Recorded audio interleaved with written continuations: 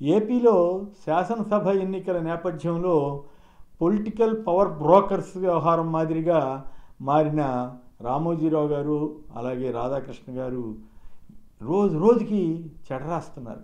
ఆంధ్రప్రదేశ్పై పగబట్టినట్లు రాస్తున్నారు. నిజానికి ఆంధ్రప్రదేశ్ ప్రజలపై అంతగా విషం చెమ్మటం చివరికి ప్రజలే ఉచితంగా ఇస్తున్నా కూడా మా వద్దని చెప్పే పరిస్థితికి తీసుకెళ్ళటం అంటే ఎంత దారుణం ఎంత దయనీయమైన పరిస్థితికి ఈనాడు వెళ్ళింది అనేది అర్థం చేసుకోవచ్చు. ఆంధ్రజ్యోతి అంటే సరే ఇక అది చెప్పడానికి ఏం లేదు. వాళ్ళు ఎట్లా ఎప్పటి నుంచో చంద్రబాబు గారికి ఇదే అయిపోయిన పని బినా ఏజెంట్గా మారిపోయారనే విమర్శ ఆ, ఆ సంబంధ బాంధవ్యాలు వేరే విషయం. ఈనాడు వారు కొంత ఏదో ఇంటి ఇంటికి ఇండివిజువాలిటీ మెయింటైన్ చేస్తారనుకుంటే వాళ్ళు ఆంధ్రజ్యోతిని మించి పచ్చిగా అవాస్తవాలు అబద్ధాలు రాస్తున్నారు. అంతేకాకుండా తెలంగాణలో ఒక రకంగా ఏపీలో ఒక రకంగా రాస్తున్నారు. తెలంగాణ ముఖ్యమంత్రి ఏడాదిలో రెండు లక్షల ఉద్యోగాలు కొలువు భర్తీ అంటే దాన్ని పెద్ద వార్తగా బ్రహ్మాండంగా బ్యానర్ వార్తగా ఇచ్చారు. ఓకే ఇవ్వడాన్ని తప్పుపట్టక్కర్లా కానీ అదే ఏపీలో ఇట్లాంటివి జరిగినప్పుడు లక్షన్నర ఉద్యోగాలు ఇచ్చినా ఒక్క ఉద్యోగం లేదని రాస్తుంటాడు ఇప్పటికీ రాస్తారు. ఎంత దుర్మార్గం చూడండి.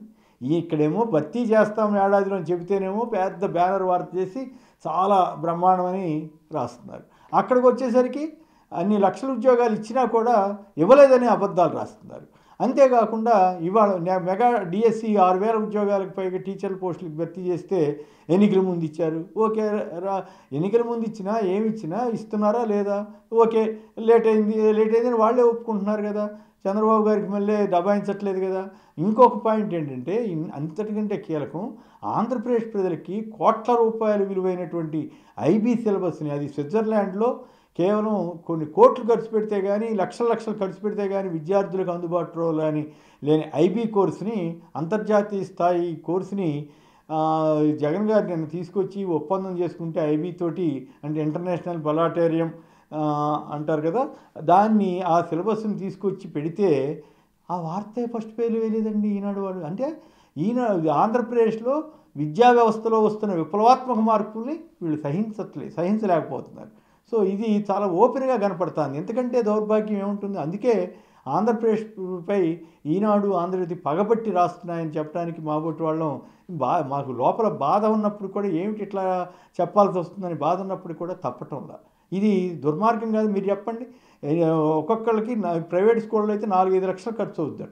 అలాంటిది ఉచితంగా జగన్మోహన్ రెడ్డి గారు ప్రభుత్వ స్కూల్ పిల్లలకి పేద పిల్లలకి అందుబాటులో తీసుకొస్తే ఆ కోర్సుని వార్తన్న ఎవరండి?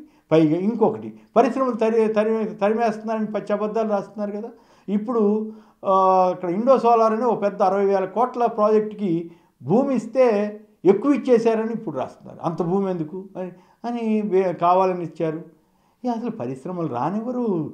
పరిశ్రమల్ని నాశనం చేస్తున్నారు. ఏమిటి వీళ్ళకి? ఏమైపోయింది వీళ్ళకి?